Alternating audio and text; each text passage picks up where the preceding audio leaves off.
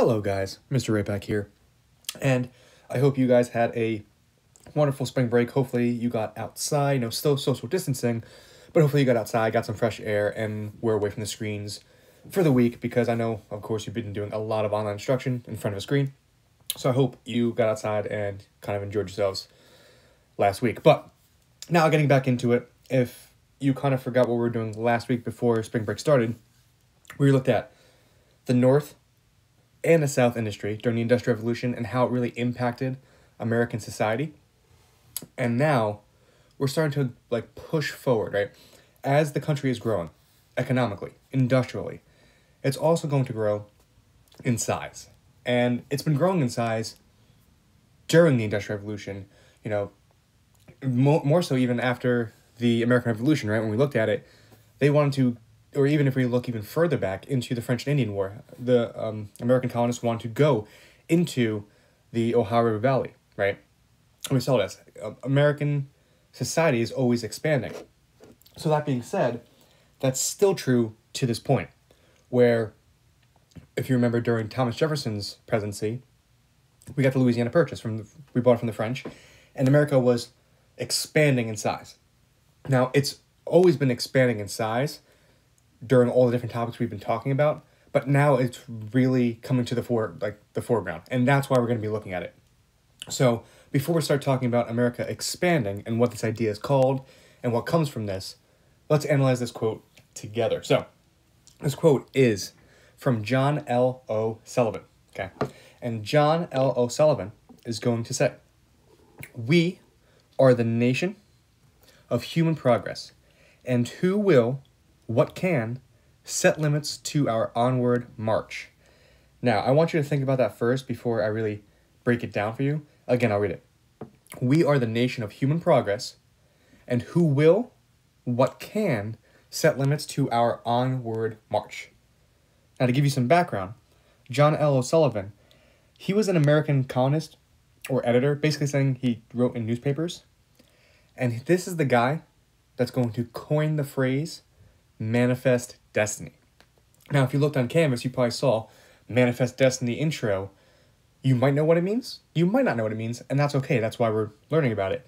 But this is the guy that creates this idea of manifest destiny that we're going to be learning about today and also your next assignment later on in the week. But like I said, he's an American columnist, he's an editor, he's a writer during this time, and he coins the phrase manifest destiny. But let's break down his words. He says, We are a nation of human progress. Well, plain and simple there, right? We are a nation of human progress. We see this idea of human progress. If you're growing as a nation, you're going to be progressing. So we see this idea of making progress. And who will, what can, set limits to our onward march. So looking at that, he's kind of saying, you know, as Americans, we are a nation of human progress, and the people who will and the people who can tell us or set limits on our onward march are going to be ourselves not anyone else. Now, this can be controversial because if you look at the United States, right, where are they going to be expanding to? The West. What we also saw with Andrew Jackson, if you want to expand out West, who else is living there? Native Americans. So he's kind of putting this idea out there, right, saying like, it, no one else is going to be telling us what we can and can't do. As Americans, we tell ourselves what we can and can't do. So it's kind of interesting to see how we're going to branch out into the West with some kind of, you know, as they're going, well, we kind of saw violence, right? But see how the reactions are going to be moving out into the rest of the country because we don't own, as America during this time, we don't own, you know, the western part or the, like, the west coast of the country, which we're going to see in a second. So let's get into the lesson today. So today, you will be able to analyze how the glorification of the American frontier, meaning the American West, through Manifest Destiny impacted American society, and you will know you succeeded when you have learned about the real American frontier and completed the Manifest Destiny intro Google Doc, which I'll show you at the end of this video. So let us continue along. Like every lesson, there is a question I want you to keep in the back of your mind while you're going through this. And the essential question for this lesson is How was the idea of the American frontier glamorized. Okay. Now, if you think of glamour, right? Beautification. If you think of this idea of glamour. Like it's just like, oh, I want, like I want that, right? It's glamorized. It's like, oh, this is amazing. Why, why can't I have this? I want this. So we're gonna look at the idea of how is the American frontier glamorized, right? But also, because it's glamorized, how is it going to impact the settlement or people moving out and living into the West? So keep this I or keep this question or this idea in the back of your head as we go through this lesson. So, first off, manifest destiny. Expansion is inevitable, right? And you're going to see this picture here. This picture is called American Progress. We see this idea of progress yet again. And it's by John Gast. Now, this picture kind of sums up this idea of manifest destiny, okay? Now, again, manifest destiny, expansion is inevitable, ties in with this picture, but let's get a bigger view of the picture, kind of blown up. And you will see this picture on your Google Doc as well. So, this picture, there's a lot of aspects to this, right? You could sit here for a good 10 15 minutes looking at the picture and picking out little pieces of information from it. I'm just going to pick out a couple for you so you can kind of see some little things that you might miss, right? So, looking at it, first and foremost, what we want to see is if you look on the left hand side, you're going to see, of course, Native Americans. Now, looking at this section over here, if you look at Native Americans, what's kind of happening to Native Americans? Well, it looks like they're being pushed out, right? So, this whole idea of the picture can be, say, like the East Coast of the United States and then the West Coast of the United States. And we could see where Americans were or where Americans were settled they're kind of pushing out Native Americans further and further out west. So that's the first part of the picture. But we also see a very distinct, a very distinct divide between each sides. So if I drew an imaginary line down the middle of the picture, we see a distinction. On the right hand side, it's much more, you know, lighter, right? We see a light side. And on this side, we see a darker side. These are different tones, different themes to the picture. Light, dark, light, dark. And if you notice, on the dark side, we see storm clouds coming over. Could this be an idea of maybe like seeing like the Trail of Tears, right? Another way you can look at this is light and dark, almost this idea, right? This idea of enlightenment, of higher thinking, a higher level of thinking and life, society. So if you go with that aspect of it, you can see it kind of shows Native Americans as more so not barbaric, but maybe not as civilized as American society. Because when you look at American society, we see trains, horses and carriages, right? We see what looks like telephone wire coming out into the west, major cities as opposed to roaming with buffalo, right? So we see a distinct split between American society and how it's expanding out into the West and bringing its ideas, its thinking, its technologies with it as they push out the Native Americans. But that's not all that's in this picture. Dead center of the picture, right, we see a lady. Now, major part of this is if you look in her hand right here, right, you see a book. Now, this book, if you look closely, it's kind of hard to see, is the Bible. So we see this lady carrying telephone wire and a Bible in her hand. The idea of manifest destiny is commonly going to be portrayed as, especially with John L. Sullivan, going to be portrayed as our God given right to go and take this land. Saying it's our God given right as Americans to go and take this land, to kind of go in there and live and create a society on this land. So when you think of manifest destiny, saying think of expansion, westward expansion, but also this idea of it's our God given right to expand out into this territory and use it for our benefit. And that's why we see kind of what looks like almost to be an angel holding a Bible guiding American citizens out into the West. So let's continue along. Now, during this time, okay, we get a lot of land, a lot of land and we stretch out finally from coast to coast. But we're going to kind of learn this in sections to more easily break this down. So we already know we had the whoopsie. We already know we had the third the why isn't that working? There we go. We already know we had the 13 colonies right here. right? So we had 13 colonies. And then as we expand out west with Thomas Jefferson, if you remember, we got the Louisiana Purchase, which nearly doubles the size of the United States. But then we also get land such as, or areas such as this Texas area, right? We get this land when we think of California, Nevada, um, Utah, all those other states and territories. We get those from the Mexican Cession, which we're going to go over. And then we also get all the way up top the areas of Washington, Oregon, Idaho during um, 1846, known as the Oregon Country. And that's kind of where the idea of the Oregon Trail comes from. So we're going to break these off into different sections as we go through Western expansion. But for right now, we're just focusing in on Manifest Destiny as a whole. That's the main thing we're looking at first. So this week is all about this idea of Manifest Destiny and Western expansion, frontier life. And then we're going to get into how we got the areas around Texas and California and Oregon and things of that nature. So, just an example of frontier life, right? What the um, real American frontier life look like. Well, it's very rustic, right?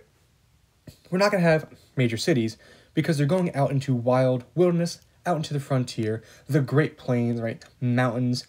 And it's going to be a different lifestyle than what you would think of of the East Coast during that time. So as we, as Americans, expand out west, right? You notice a couple things in the top left hand picture. This idea of you know log cabin houses comes about, right? This idea of log uh log cabin house houses, uh, kind of like if you look at the clothing is much different than when you think of on on the East Coast during that time. The top right, we see a bunch of travelers taking their uh, covered wagons from the east and making the journey out west. Now, why families would make this journey is if you can make this journey, right?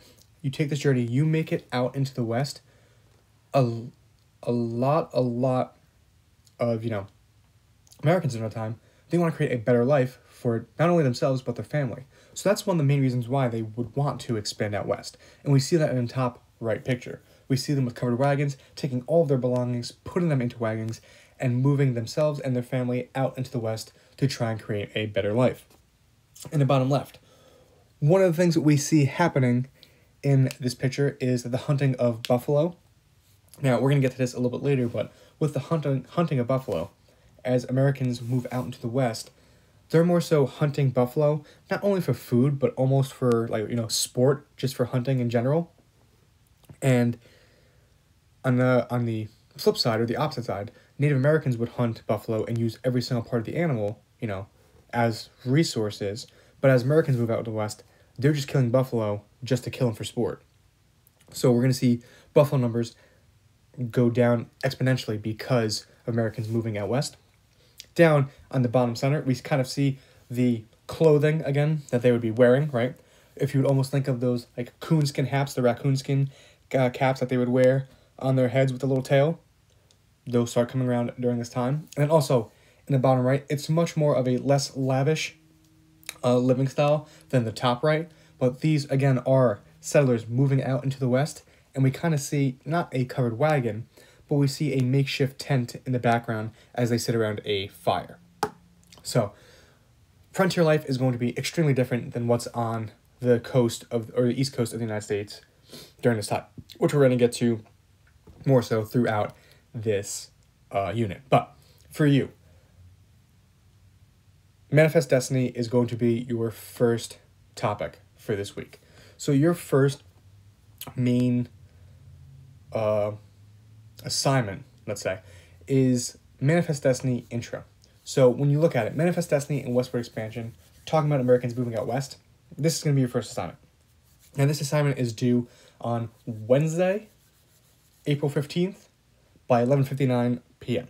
Now, what I am asking you is you're going to make a copy of the Manifest Destiny intro Google Doc like you've been doing for other assignments, and you're going to use the American Progress painting that's on your Google Doc.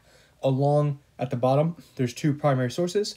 You're going to use the painting that you have to um, you have to use the painting to create three uh, three things that you notice within the uh, picture, and you can put them in a chart. And then at the bottom, you're going to see two primary sources and you're going to use those sources to answer the questions underneath that correspond with them. So make sure you're using both primary sources, the painting as long as well as the uh, two primary sources at the bottom to answer the questions down at the bottom. Also, it says be sure to watch this video. Well, if you're watching this video, then you're good. And then once you're done, please submit it onto Canvas. If you've noticed, I started putting on these, I started linking the doc in two places so you know where to click. So if you didn't know, it's right there. Also in our um, daily announcement posts, I link the assignment as well. So there's no excuse not to know where the assignment is. It's there. And then let me give you a little sneak peek of what your next assignment is going to be, although it's not published yet. Your next assignment is going to be the argument for Manifest Destiny. Now, you're only going to have two assignments this week the Manifest Destiny and Westward Expansion intro, and then this one, which is the argument for Manifest Destiny. So, this one, very similar to like what we've been doing. You're going to make a copy of the argument for Manifest Destiny. They're going to use the guided sources provided on Google Doc to answer the questions at the bottom. But all those questions are going to relate to the idea of why American society would be for this idea of Manifest Destiny. And of course, when you're done, you're going to submit it on to Canvas. But if we have an assignment that's an argument for Manifest Destiny, you know down the line, because we always look at both sides in this history class, next week you're going to have an assignment that's an argument against Manifest Destiny. Because looking at it through, you know, like rose colored glass right now, you may think Americans are like, yeah, Manifest Destiny, let's expand out and take this land. But like every controversial issue, there's going to be two sides to it. So this week we're focusing on what is Manifest Destiny and Westward Westward Expansion. Why was, you know, part of society for Manifest Destiny, and next week we're going to look at why was the other part of society, American society, against Manifest Destiny. So like always, do these. Oh, sorry, and this uh, this assignment is going to be due on. I don't know why it says the Thursday. I'm probably going to switch this to Friday. So ignore that due date. I'm probably going to switch this to Friday. So it should be due Friday, April 17th by 11.59 p.m. So like always, if you have any questions, please feel free to message me on Canvas or email me. I'll try to get back to you as soon as I can. Hopefully all of you are healthy and well. And until next time, see you later.